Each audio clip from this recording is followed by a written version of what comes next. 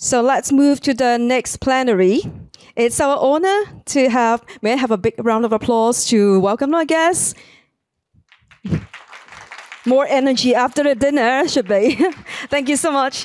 May we now have um, Ms. Lynn Yau, Chief Executive Officer and Director of Learning at the Absolute Fabulous Theatre Connection, AFTEC, to moderate our talk on Let's Recreate. Ms. Yau is a guest lecturer at local university, a published researcher and a regular speaker at conferences in Hong Kong and internationally. She holds degree in literature and education among other qualifications from the Graduate School of Education and the Harvard Business School Executive Education. May we now welcome Ms. Yau to come on stage. Ms. Yau, good evening.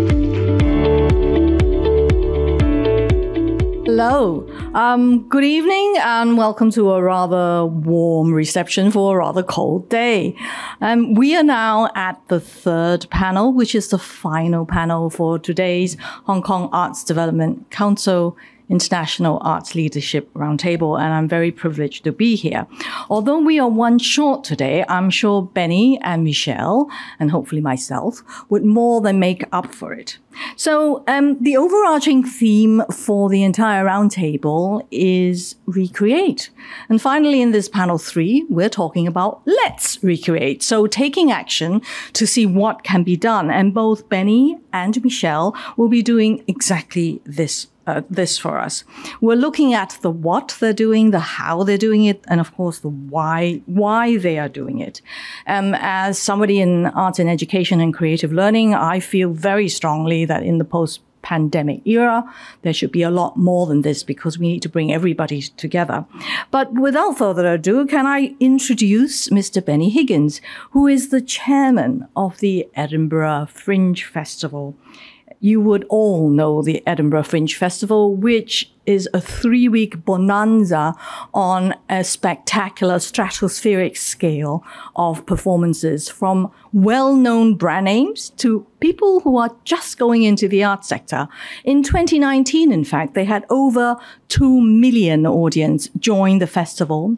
There were over 323 venues over the in the entire Edinburgh city, uh, plus 3,000 odd productions, clocking up 60,000 shows. So we are talking about an astronomical number here.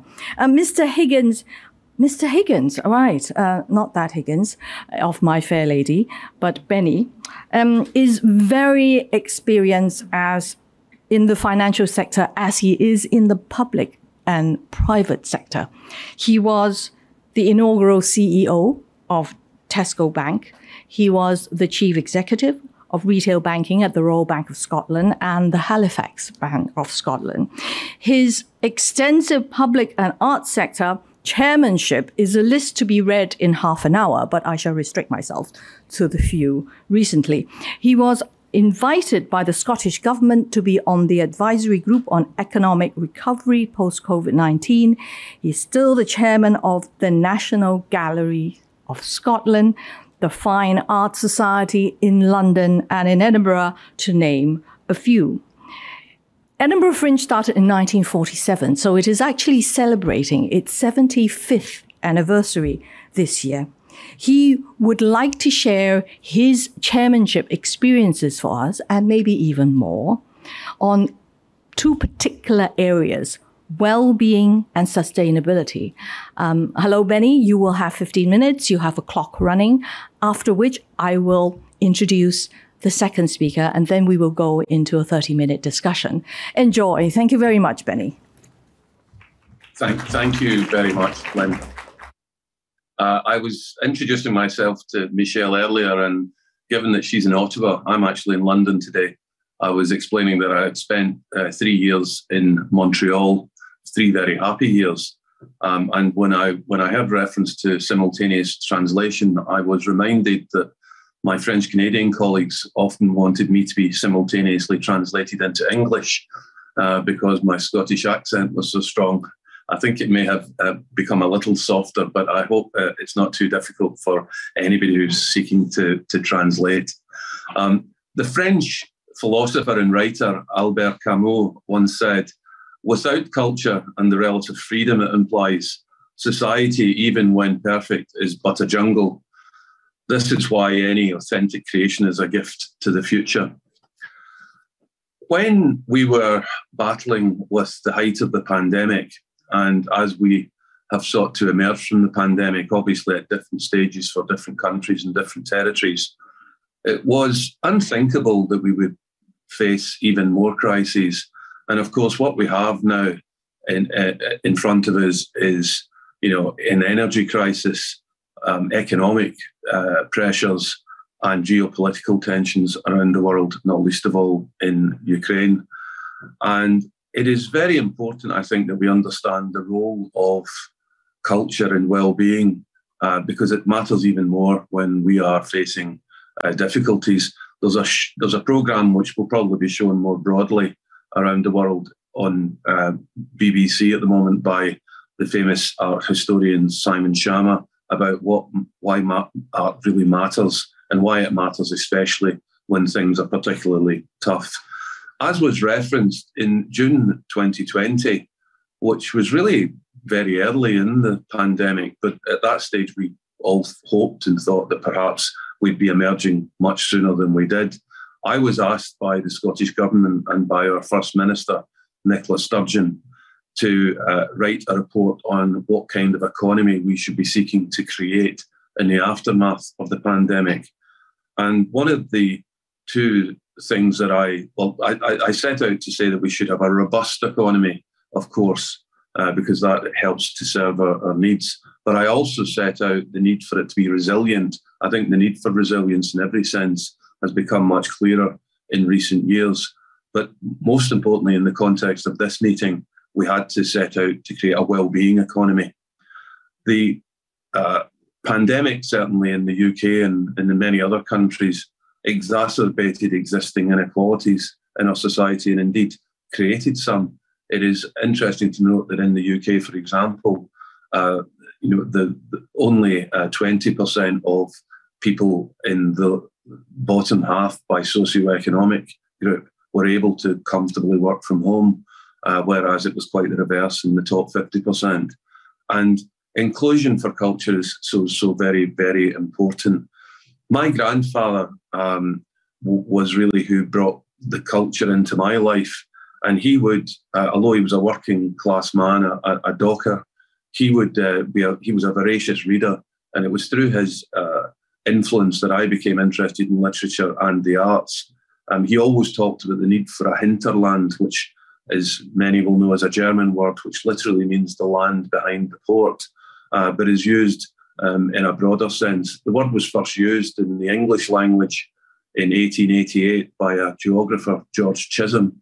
But in the 70s, um, which is a long time ago for probably most of the people in this audience, um, Denis Healey, who was a very famous chancellor and politician in Britain, uh, started to use the word as reference to what people would have in their life beyond what they do for a job day to day. And I'm certainly a strong believer that having a hinterland, having an interest in the arts, having an interest in culture is crucial to uh, not only our own well-being, but how we identify as a country. Um, certainly, as far as I'm concerned, with my many my many uh, links to the cultural landscape in Scotland, for me, it's absolutely crucial that Scotland's reputation, both at home and abroad, is characterised in part by its, its very rich cultural heritage but what can be achieved by culture is quite extraordinary. As was, I think, referenced, I am the chairman of Sistema Scotland. It is based on a model which was originally in Venezuela, El Sistema. And Sistema Scotland, which is an independent body, takes orchestral music, orchestral music into disadvantaged areas in Scotland. We have five centres in Edinburgh, Glasgow, Dundee, Aberdeen, and Stirling. The original one was in Stirling, which began about 16 uh, years ago. And it basically takes disadvantaged children, brings them into uh, orchestral music. And it's the, the music is the vehicle, it's not the outcome. The outcome that we seek is to give these young children confidence, to give them courage, um, to give them uh, a level of uh, you know confidence in relationships uh, with each other and with the music teachers. And we've had report after report which justifies that our, our optimism that we are making a huge difference. And to see music be at the root of giving very deserving children and their families and their communities uh, an opportunity is really quite extraordinary. The Glasgow Centre, where I originally grew up, is only about 100 metres from my first home, um, and that makes it even more personal than it would be otherwise. But it's an extraordinary um, charity. The National Galleries of Scotland is uh, obviously the owns the, the, the, national collection, and we are in the middle at the moment of uh, completing the uh, a new wing to exhibit our Scottish collection. That should be open by next autumn. And I think, again, a wonderful opportunity through a very clear focus on inclusion and access to make sure that the, the visual arts in Scotland can be enjoyed by not only uh, everybody in Scotland, but indeed visitors who come to see us internationally. Uh, the fringe uh, in 2021 was very much a reduced fringe uh, because we were still, well, we thought we were coming out of the pandemic at that point, to be blunt, but then no sooner did we think we were coming out and we were back in lockdown. And it, it was dented by um, the hopes for 2022 were dented by the Omicron um, variant. And yet, in August this year, we managed to have a full scale physical fringe. Uh, over 80% of the visitors that had it num- in number terms that had visited us in t- 2019 were there. And for the month of August, uh, Edinburgh becomes to the performing arts what Venice is to the visual arts and Cannes is to the film industry. Really quite uh, miraculous this year that we were able to do this. Now, I um, I think that there is much to learn from from the fringe. One of the things we did this year was we sat down and spoke to every one of our stakeholders. We spoke to venues, we spoke to artists, we spoke to local authorities, we spoke to government, we spoke to audiences, and we revisited uh, what we stand for. What's probably least well understood about the Fringe Society is the Fringe Society doesn't actually control the uh, any curatorial influence. And so we effectively convene the event, uh, but we don't control it. Now, many people think we control it. We also don't receive money from, from government. We have to find the funds to run the fringe. Uh, but I'm, I'm delighted to say that it was an absolutely heroic effort. I've only been involved in the fringe for the last 18 months. And during this summer, um, it was quite an insight, quite an education for me to see the challenges that we face to put on the fringe. There are many challenges, not least of all the cost of accommodation for artists in Edinburgh during the month of August is becoming uh, intolerably high. And it really does pose a significant threat to the fringe. And uh, I'm sure in other countries the same things are happening, but certainly in the UK and specifically in Scotland, there is a great deal of financial pressure on the culture sector. And it does present, I think, very significant jeopardy um, we do find the politicians, needless to say, will say that they see the benefits of, an, of, of a thriving cultural sector. They talk about well-being, but when it really comes to the crunch and we are, we we see what gets prioritised and what gets deprioritised, I am fearful that um, uh, the, the, the strong words and and optimism will be diluted by a lack of financial support. And so it really is important, it, certainly in my case, that for each of the cultural organisations that I um, I chair and support, that we are making putting our best foot forward and looking for other in, innovative ways to try and make sure that we can continue to serve um, both, as I say, uh, Scots and indeed international visitors. Um, one of the things I, I feel very strongly about is in a time of crisis, it is absolutely essential for any organisation, and this is perhaps more true for a, a cultural organisation uh, than any other is that you must make sure that you remain very focused on your sense of purpose. You must also make sure that you stick with your values and don't allow them to be um, diluted in any way. And perhaps just as important as any, it is very important that you do not diminish your ambition. It's very diff- very easy in challenging times to allow your, your ambition to be diminished, but it's perhaps the most important time to hold strong and, and maintain ambition. There's a lovely short poem called Hope by Michelangelo, who obviously was better known for using a brush than a pen. But he said, the greater danger for most of us is not that our aim is too high and we miss it, but rather that it's too low and we reach it. And I think that really does capture very well the importance of ambition. As far as the fringe is concerned, uh, we have very big, uh, very big hopes for next year.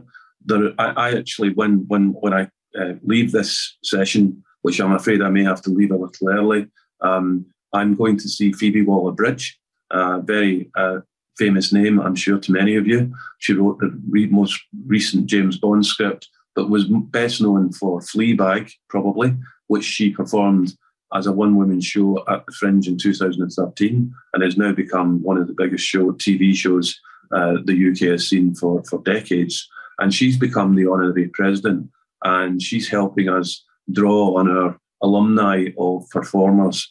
Um, Eddie Izzard has also become an ambassador, and we're looking forward to inviting many others too, because we need all the help we can get. And the Fringe has not only entertained Scots and entertained international visitors over the years, but it's also been such a magnificent launchpad for so many performers uh, from street. Perf- I mean, Eddie Izzard was 20 years ago a, street performer.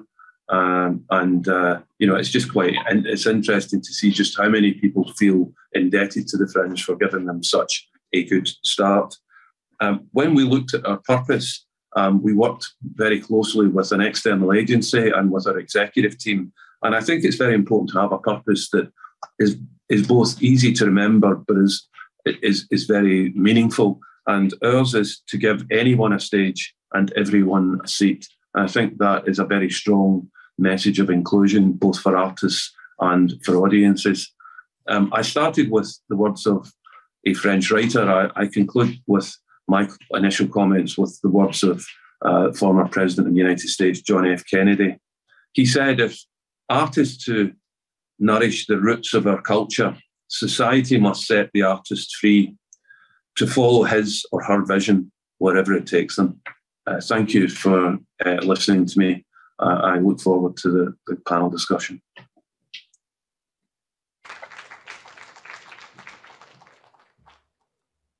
Thank you very much, um, Benny. I really love that quote about reaching too low and actually getting there. So maybe we could have an exemplification from you when we actually move into discussion. Thank you again. Um, our next distinguished speaker um, has also a very distinguished career at the Canada Council for the Arts. She is Michelle Chawla.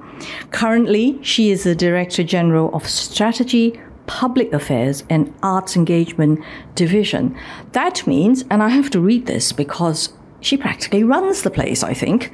She oversees communications, international coordination and diplomacy, partnership and arts program, research, measurement, and data analytics, policy, strategy, planning, content, and my favorite word is foresight. So definitely you're in the right panel, uh, Michelle. The council actually is the public supporter of the arts in Canada, striving for artistic excellence, reaching especially to local communities and markets, and they also look after the Canada Council Art Bank, which uh, you may or may not know operates art rental programs. Excuse me. Ms. Chawla, over to you. Thank you. Thank you for that wonderful good morning, or for me, good morning, for you, good evening. Um, thank you for this wonderful invitation and the opportunity to speak with you. Um, so, I was very inspired by the topic. Uh, you know, it's called Let's Recreate. And I can't think of a more uh, wonderful and inspirational uh, way of thinking of our work.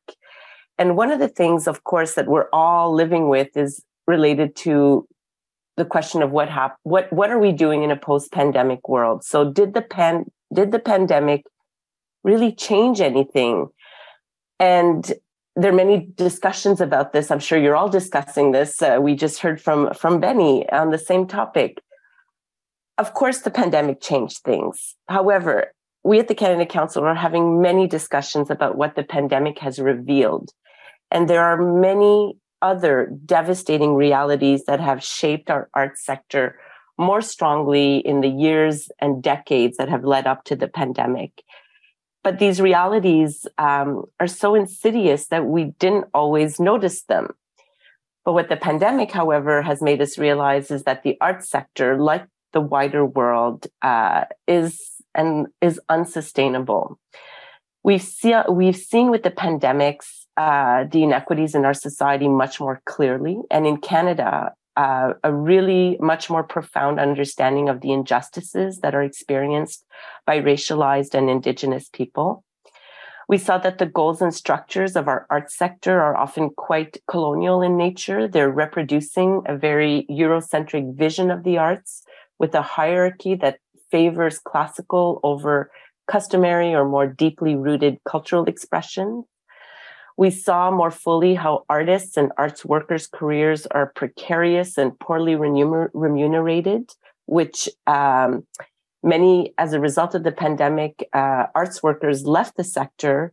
And often it was only the very privileged who could afford to stay, which continued to perpetuate many inequities.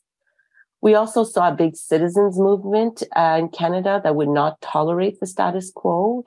Um, they were engaging in the arts in different ways, and often, of course, as you all know, and we're doing now digitally. Uh, we see a generation that's much more socially conscious, and they want their arts experiences to reflect this. Of course, um, we see a world that remains vulnerable to conflict and war, and that and those conflicts have global ramifications and the climate crisis. Uh, we see, you know, we've been seeing its immediate impacts, particularly on the most vulnerable peoples in the world. And we often see a grim future that's coming our way. So these are really significant issues that, and it's easy, you know, we often hear this at times. It's easy to say that arts funders, because that's what the Canada Council is, don't have the power to address them we could say, you know, we give grants, we're not here to save the world. We could say that this is the work of political leaders, diplomats, scientists, econ- economists. But we at the Canada Council really believe that the arts funders hold the potential to create a more sustainable arts sector and ultimately influence a more sustainable world. And so we've been thinking a lot about how to do this. To to uh, go back to Lynn's uh, introduction, um, and you know we're t- we're talking about the role of arts funders and what kind of shifts. And we I've identified in my notes here that I'll, I'll speak with you today. Be happy to engage with is four major paradigm shifts for arts funders, and I'll just very briefly uh, give you an idea of what those paradigm shifts are. So the first we're talking about redistribution. So arts funders really need to think about the question of redistributing and we're talking about ourselves. So the Canada Council, I'm not here to give lessons to everybody, but we're hoping that the arts funders sector will engage with us in these conversations. How to redistribute our attention, our efforts, and our financial resources to reach marginalized and underserved communities and address inequities of the past. We want to think very carefully about which communities are met, are marginalized and underserved in the regions that we serve. So this this is really about a question of re- also redistributing of our funding, which we all know is not limitless. We need to think about how we can redistribute our funding so that it has the greatest impact possible. Is that impact with marginalized communities to build their capacity? What is that impact? And those are the questions we're profoundly looking at. So we, we're thinking about redistribution in other ways as well. How can we redistribute our decision making so that members of marginalized communities are making decisions about policies and programs that affect them?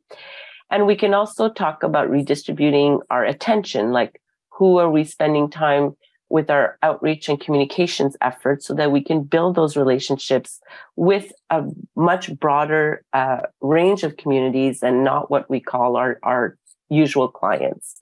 Although we don't want to lose those either. We want to continue and build the relationships in a much more inclusive uh, manner that, that has a space for everyone at the table. And talking about decision tables or tables, another paradigm shift we're looking at is um, how arts funders, we want to ensure that the arts have a seat at major decision tables in our society. So, for example, we want the arts to be part of conversations about climate change, social security, mental well being, as Benny was talking about, social isolation, public health, among many other areas. So, why do the arts need to be part of these conversations?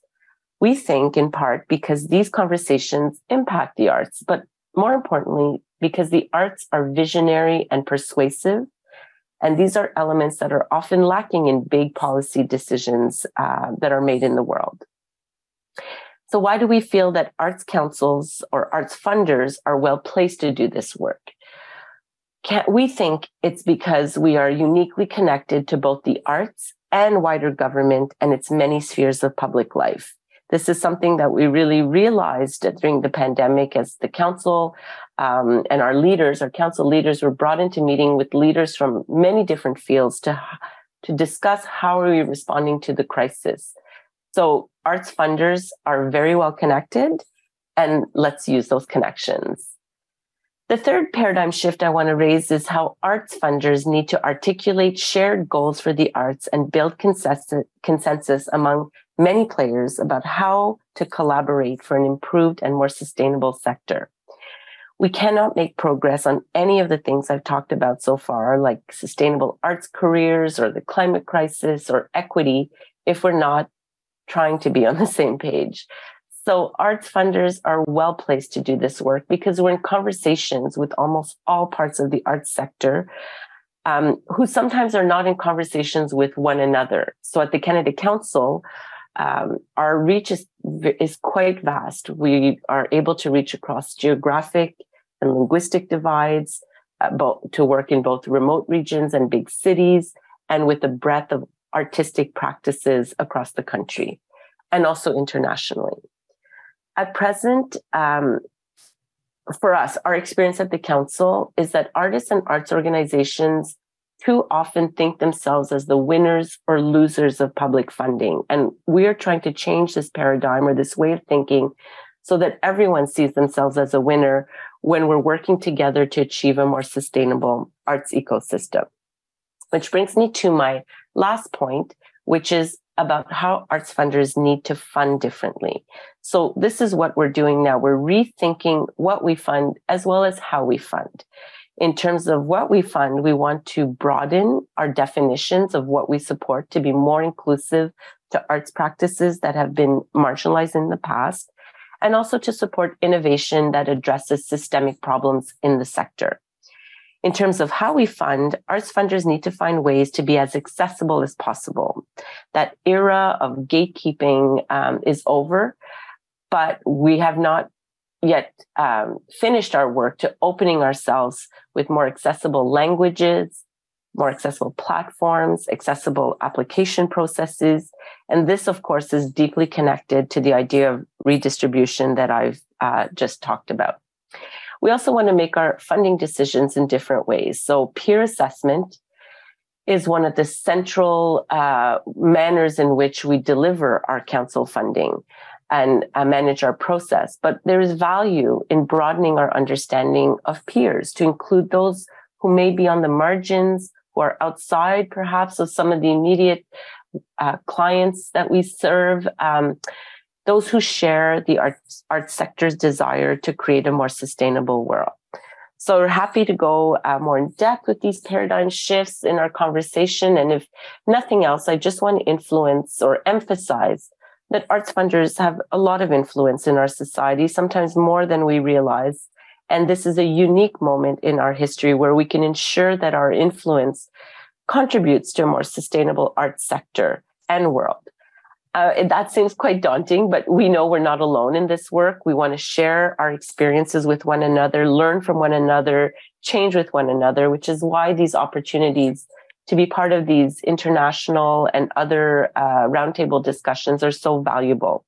So I'll hope you look at the Canada Council Strategic Plan, which is on our website and called Arts Now More Than Ever. It was written during the pandemic, so we were very much influenced by what was happening in our world. And for us, it's a guiding document as we undertake many of these paradigm shifts and hope that it offers some inspiration or at least an opportunity to have conversations with other funders and arts organizations as we transform our work. So thank you very much. Thank you. Thank you so much. Thank you. So it's time for panel discussions. So thank you, Michelle, for the insightful sharing on the ways to strengthen the art sector, especially during COVID. And that this is the best of time, this is the worst of time. It depends on how we judge it. And also for Benny's presentations, sustainability and inclusions are the key and resemble so much of what Benny has said. And so I wouldn't have to think deeply. And Okay, so the setup is ready. So may we now again invite Ms. Lynn Yau to come on stage again to initiate the discussion for us. Ms. Yau, please. Thank you very much.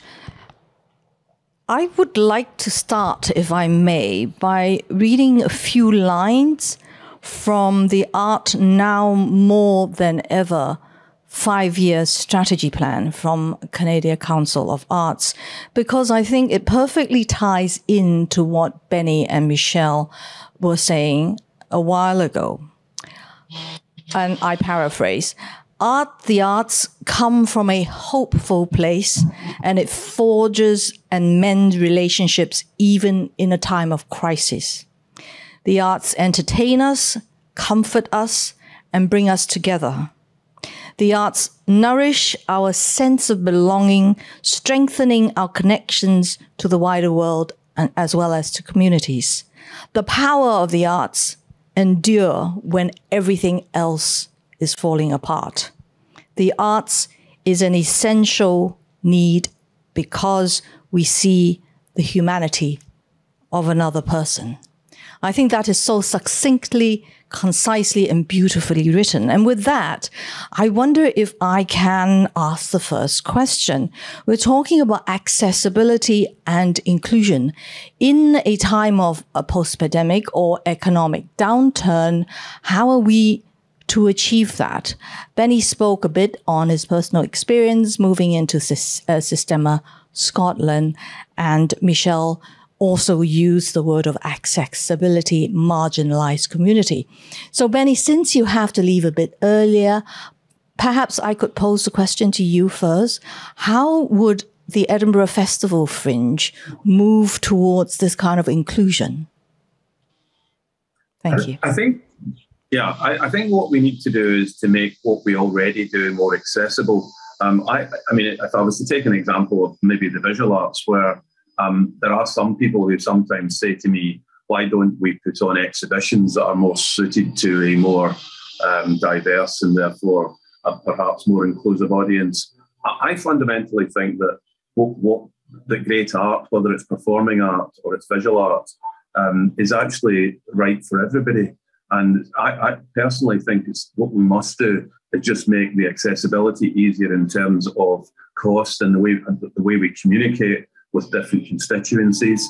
Um, education is such an important part. So we have at the Fringe and at the National Galleries of Scotland very strong links with education, and we we, we, we have very strong links with making sure that we make the, the Fringe accessible and available to a broader church. Um, so I think that that really is very important. I mean, if I may say so on funding, though, it's quite interesting because I'm working across different cultural organisations. Um, it, organisations that can talk to their own audience in terms of raising funds perhaps don't realise that while things are tough, it still is an advantage. And of the organisations I represent, Sistema Scotland, where the audience is deprived communities exclusively, uh, with very large refugee communities in at least one of the centres, um, you know, the, the, communities themselves have no access or ability to be able to support the charity other than through their goodwill, which is extremely important. Um, and so, whilst we do find it challenging both at the Fringe and at the National Galleries, but at least as a, an opportunity to talk to your own audience. And clearly, funding, as, as Michelle said, will have to be re, kind of reimagined in order for us to make sure that we can do all the things we need to do. But I put inclusion and access at the very top of my agenda for what we need to stand for, because that's what can engender uh, the, the, organisations the, the, opportunity to truly um, make a difference in people's lives. Because art can do that, and it is never more important than at times like this. Thank you, Benny. Michelle? So yeah, I mean, I think the idea. I, I completely agree with Benny. I think uh, the issue of inclusion and accessibility is uh, uh, something that is top of mind to all organizations, whether you're the arts organization itself or you're an arts funder, and looking at the question of how we ensure that access. I guess uh, you know one practical or very concrete example of something the Canada Council is doing is related to how we've shifted how we fund um, Indigenous arts. Uh, we uh, have taken a, a, new approach around the idea of self determination. And what that means is that we created a space in the organization um, around uh, shared decision making and giving over power. So we created a program uh, that is developed by Indigenous people, managed by Indigenous people, assessed by Indigenous people using new criteria and different language than what you would think of a traditional arts council. And so I think when you are able to demonstrate concrete actions, I remember when we were um, the language is so critical. So um, it inspired me again. I'm thinking, oh yes, it's true. You know, we wrote this in the right in the midst of you know do of the pandemic, and it was so um, deeply revealing to us how the arts was critical to the recreation, the rebuilding of the sector. Um, and it, so, thank you for the question. Yes. Um, it's all about a legacy as well, or sustainability, actually, which both of you also mentioned. Sustainability in, in, in the literal sense, when you have to have a continuation of the Edinburgh Fringe or all the work that you do at the Canada Council. It is also about climate change. So this brings me to my second point that the arts can no longer uh, operate in silos um, with those who are converted to the arts. As we heard from an earlier panel on digital art, we really have become a bridge across sectors. How would the both of you actually use this kind of um, wide expanse of bridging ability by the arts to reach out to different stakeholders, especially to funders, since the fringe, as Benny says, is not funded by the government? So, how would we play to the strength of the arts to reach out to other sectors for public private partnership? Who would like to take this first? Benny, would you like to, since you might? Okay, okay. Yeah. Thank you. Okay. Um, look, I, I, think it's very important that artists eh, in any of the art forms both reflect the zeitgeist of what's going on in the world that we live in but also seek to influence it. And it's certainly one of the strongest messages that we have at the fringe that we genuinely, as I said um, earlier, that, you know, uh, I think a very helpful and important strapline for us now is to give anyone a stage and everyone a, a seat. And that talks to the idea that we've got to reflect the complexity of the world we're, we're in, the challenges we face, and art as, as you, you referred to earlier is such a, an extraordinarily powerful way to talk to the challenges we face in the world. And that's what funders are looking for, at least the enlightened ones. They want to know that we are going to present a very diverse um, fringe, and we are determined to do so. But we must also recognise that in our convening power, I think that the, the notion of convening power has become much more important in my mind than, than, than it maybe used to be. And I think it was actually during my economic report on the recovery from the pandemic that you know governments and other and other organisational bodies can obviously influence things by investing, by by taking actions, but convening power is very important too. And I think the fringe society has the ability to convene the discussion between the artists, the audiences, and funders about subjects that matter. And you know, we, we I think we, we all are, would be in agreement that you know climate change is, is certainly one of them. Um, there are many others. Um, I think inequality is you know there's a kind of tragedy that um, inequality is getting worse in our societies rather than better.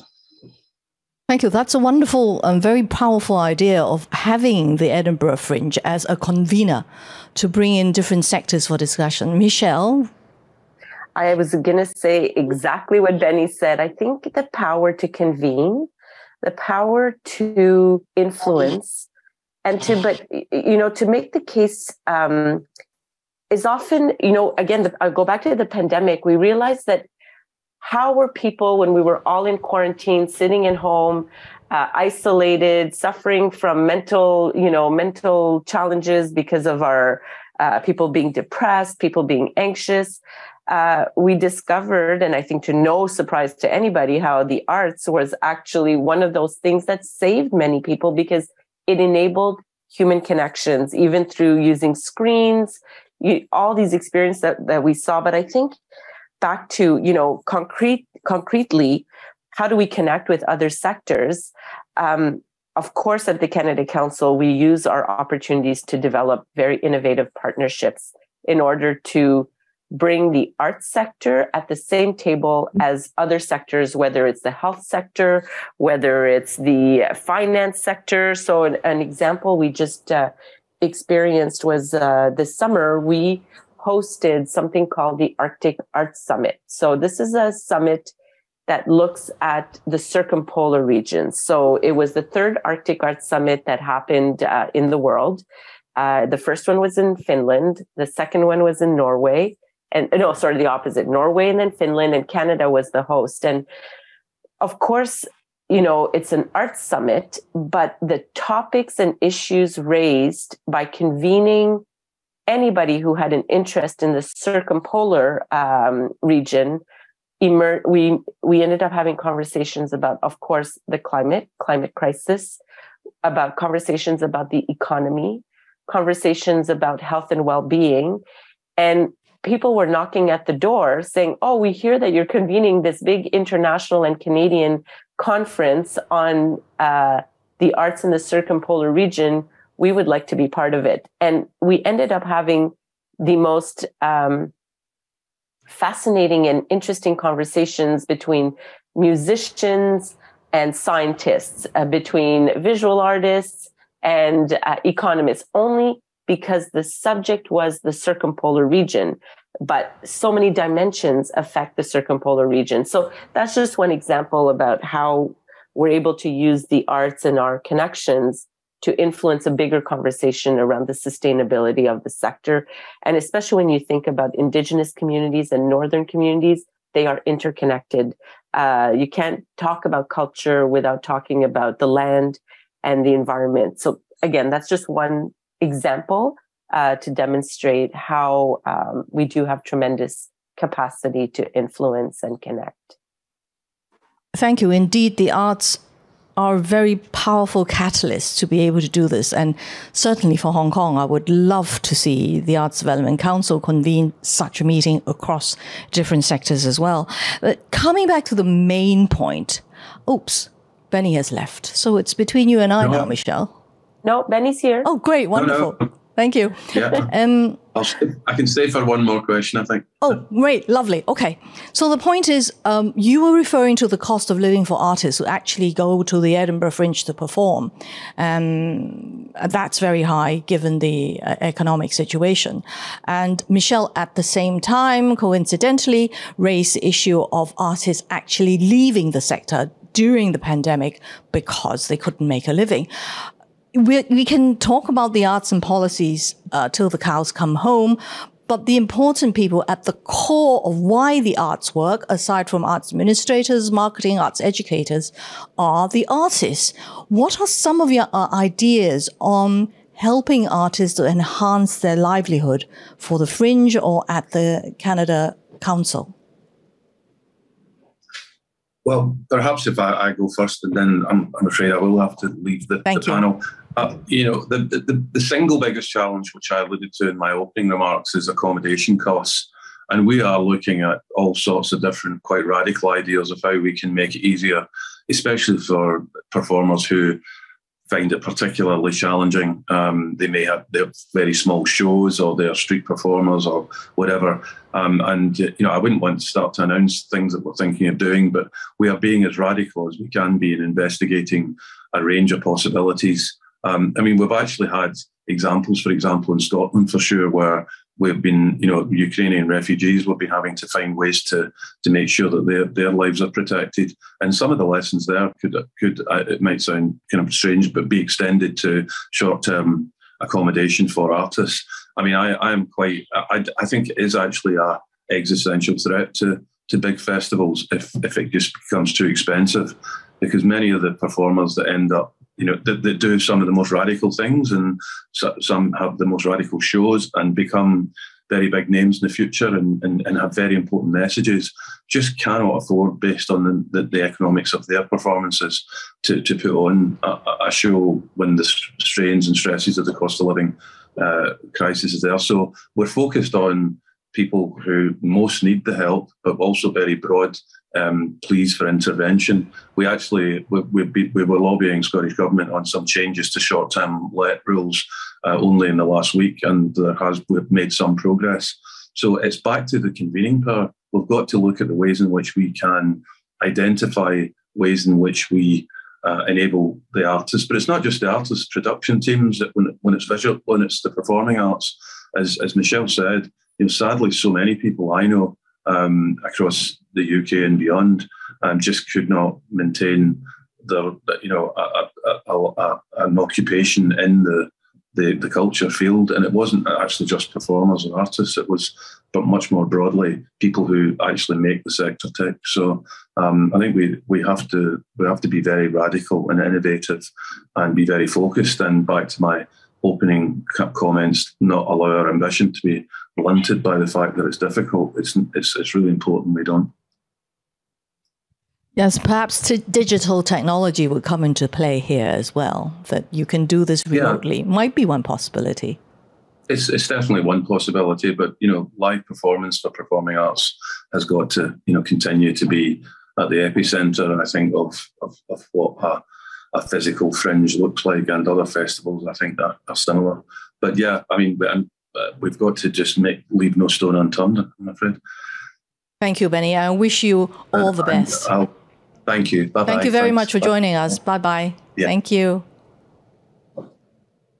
Michelle, we were talking about artists' livelihood. How are we supposed to enhance it? What are your ideas in your five year plan? Right. No, I mean, for sure, uh, we've we've seen the fragility um, of artist workers who are often, you know, part of what we call an atypical employment situation. You know, they have um, they have short term projects that they're associated with, so they're not, you know, what I would call like a, a government employee or somebody that has um, uh, stability and and the pandemic has really revealed that precarity so there's first of all at the Canada Council we directly fund artists and i know that not it's not not every single organization or arts funder that does that but we've maintained and prioritized ensuring that artists uh, benefit from direct funding from the Canada Council. So that's one one thing.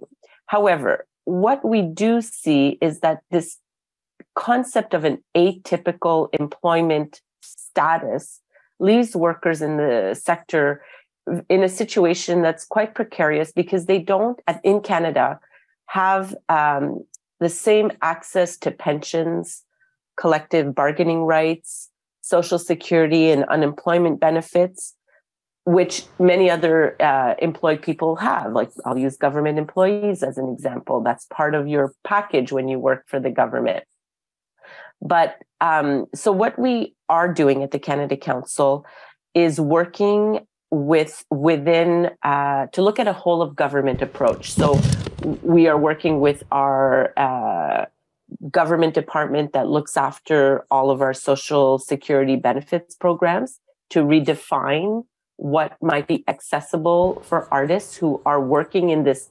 atypical employment uh, situation. So we are also talking with our Canadian Revenue Agency that looks at how taxation works. So we're really trying to um, advocate for the the career and um, sustainability of people who work in the arts sector uh, in order for the, for them to for these government departments who run these big social benefit programs for them to understand the situation of independent cultural workers and to be able to also then advise artists on what is accessible to them because often that's another thing that people you know who don't have the inside knowledge of how the government works don't understand all the resources that may be available to them. So that's just one example of how we're trying to address the question of artist remuneration and the precarity um, of the individual artists Thank you, Michelle. I have tons more questions, especially one on peer assessment. That would be most interesting. And um, there are two questions have come in online. Unfortunately, one question is for Benny, and he's unable to be with us now. So, if I may read the second question to you, Michelle.